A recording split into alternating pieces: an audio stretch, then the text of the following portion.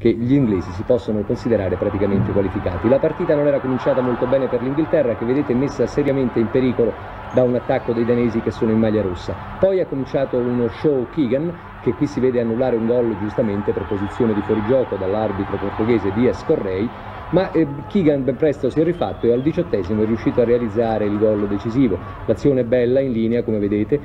e chiama in azione anche un difensore Neil che si è portato in avanti, la palla tra finte volontarie e involontarie giunge a Keegan che in diagonale di sinistro batte il portiere danese Jensen. Poi ancora occasioni per la squadra inglese che ha premuto e ha tenuto sotto controllo la partita in maniera abbastanza decisa e continua. La squadra danese era rinforzata da tutti quei giocatori che giocano in altri campionati europei, come ad esempio i due Arnesen e Lerby centrocampisti dell'Ajax, come Simonsen passato quest'anno in Spagna dopo aver giocato in Germania, e ancora come Jensen, anche lui giocatore adesso di una squadra spagnola, vale a dire del Real.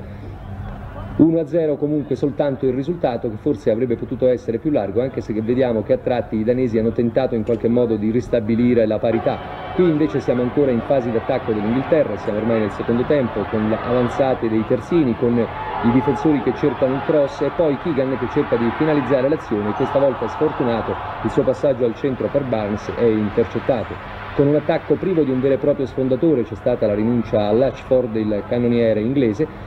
L'Inghilterra è comunque riuscita a mettere in mostra un buon movimento, in difesa tutto bene con Clemens, vedete impegnato qui di testa in una bella parata. In pratica l'Inghilterra ha veramente tutte le possibilità di qualificarsi in un girone che non presentava soverchie difficoltà se non proprio quella offerta dalla Danimarca, che vedete però è stata sottoposta a un vero e proprio pressing piuttosto continuo.